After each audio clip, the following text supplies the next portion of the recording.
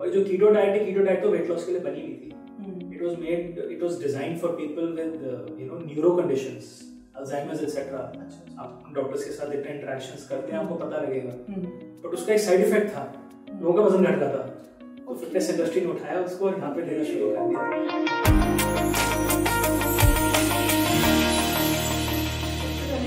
Fasting के बारे में बात करना चाहेंगे। सो फास्टिंग इज़ समथिंग जो हम सदियों से करते आ रहे हैं। बिल्कुल। ठीक है?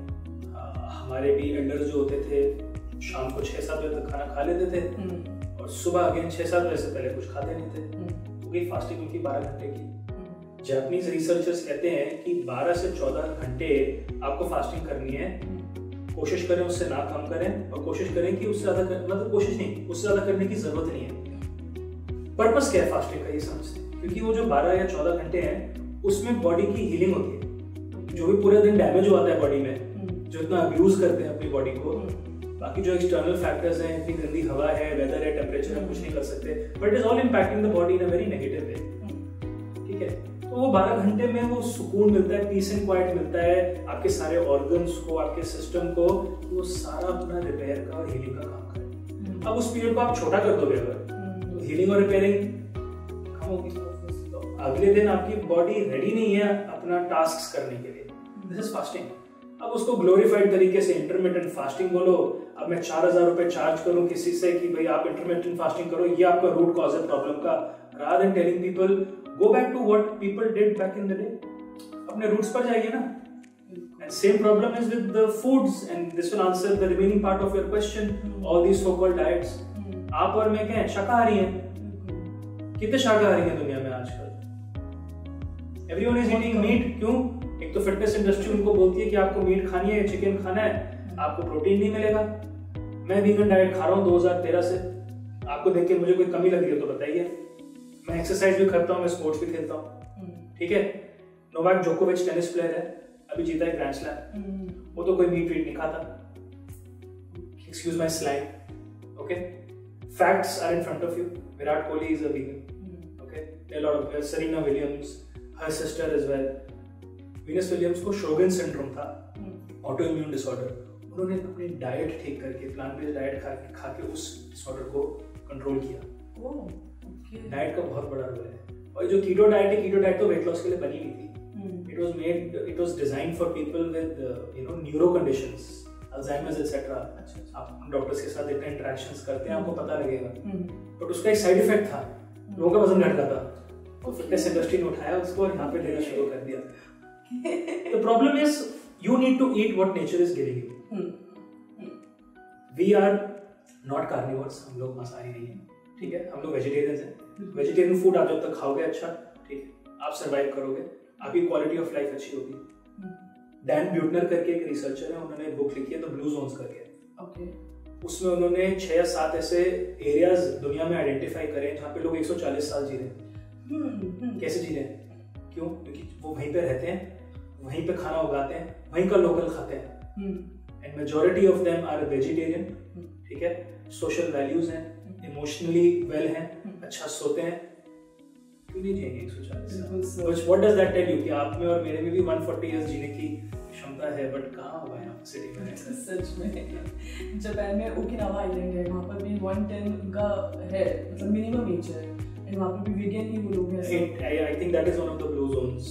हम्म। मैं आपको जो बता रहा हूँ। छह सात जो जोन आइडेंटिफाई किए उन्होंने हम्म। वो यही है तो लोग जापान ऑल इन सब जगहों पे क्यों है क्योंकि वो नेटिवली जो इनहेरेंट उनके खाने के तरीके हैं लाइफस्टाइल्स हैं अपना काम खुद करते हैं सुबह उठ के शाम को टाइम से सोते हैं ओके सर एंड आपने सारे सवालों का जवाब दे ही दिया है ये keto diet and vegan diet के बारे में सर जैसे आपने बोला कि आप वीगन भी रहकर आप एक हेल्दी रह सकते हैं आप हेल्दी इंसान बन सकते हैं। तो मैं ये भी जानना चाहूँगी कि माना जाता है कि जो प्रोटीन मिलता है वो मैक्सिमम हमें नॉन वेजिटेरियन फ़ूड से मिलता है। तो एक वेजिटेरियन इंसान कैसे अपना प्रोटीन इनटेक को फुलफिल कर सकता है?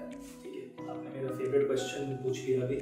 मुझे आप चीज़ बताइए जो जानवर as a non vegetarian food के फॉर्म में खाए जाते हैं लाइक चिकन हो गया फॉर एग्जांपल गोट हो गया अ, बाहर की कंट्रीज़ में लोग कैटल को भी खाते हैं हम्म। ठीक है बीफ जिसको हम बोलते हैं। तो ये एनिमल्स क्या खाते हैं? तो उनकी बॉडी में मसल कहाँ से आया? बस उनके मसल को ही खाया जाता है ना? वी नीड प्रोटीन प्रोटीन मिलता है प्लांट से। सिर्फ़ मुझे नहीं बाकी एनिमल्स को भी। वो तो एक कमोडिटी बना दी गई है कि आपको खाना है अगर आप नहीं खाओगे तो आपको प्रॉब्लम होगी। मैंने आपको एथलीट्स का एग्ज़ाम्पल दिया ही था इसीलिए दिया था।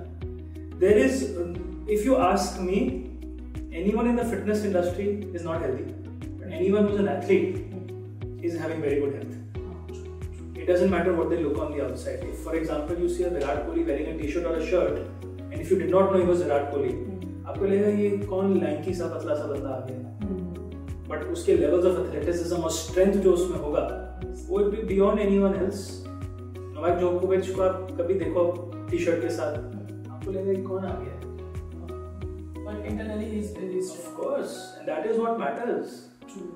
इंटरनल फंक्शनिंग आप अपनी जब तक ठीक नहीं करोगे कुछ नहीं होगा. There is enough protein in vegetarian food सब्जियों में प्रोटीन है आपके चावल में प्रोटीन है बट उसको काउंट कौन करेगा?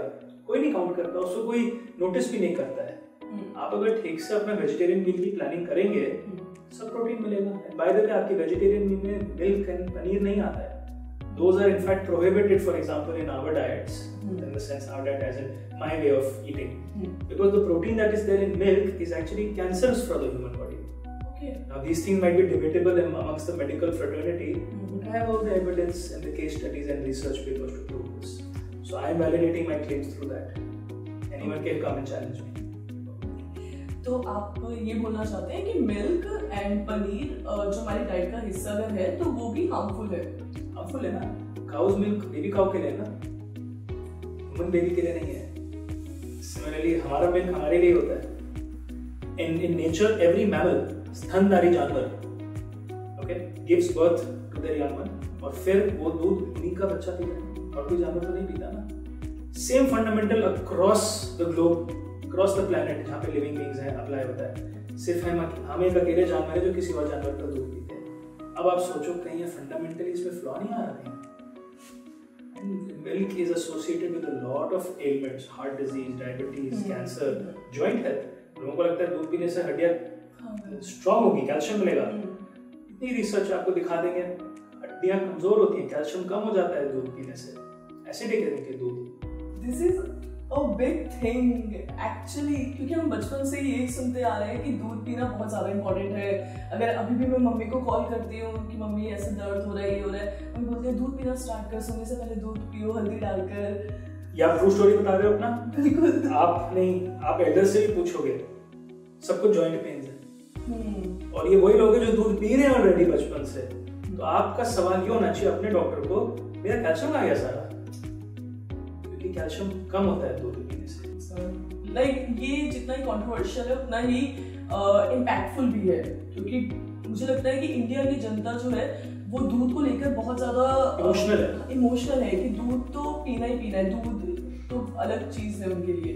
तो अगर आप ऐसा बोल रहे हैं तो this is very impactful I have cases जहाँ पे मेरे पास लोग आते हैं कोलेस्ट्रॉल 500 हुआ होता है। मैं आपको नॉर्मल फिगर बताता हूँ। कोलेस्ट्रॉल 200 के अंदर होना चाहिए। ट्राइग्लिसराइड 150 के अंदर होना चाहिए। लोग आते हैं 700 साढ़े सात सौ आठ सौ ट्राइग्लिसराइड लेकर। आपका एच बी जो शुगर होता है वो 5.5 से नीचे होना चाहिए। लोग आते हैं ग्यारह बारह लेकर। मैंने इन लोगों के चार चार महीने में रिवर्स करे सिर्फ़ फ़ूड से।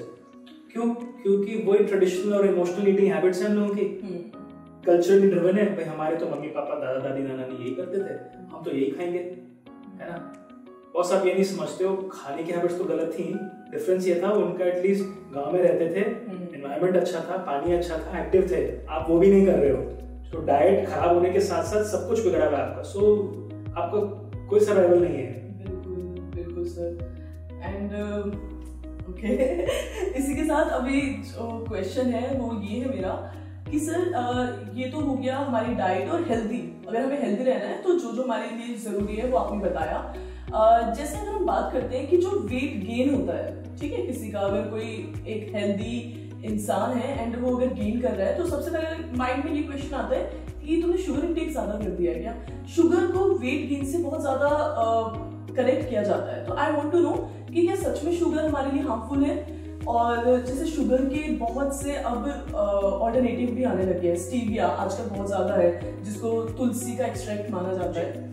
एंड और भी शुगर फ्री और बहुत सारी चीज़ें बहुत टाइम से आ रही है। तो मैं ये जानना चाहूँगी कि शुगर सच में हार्मफुल है? शुगर डेफिनेटली बहुत हार्मफुल है।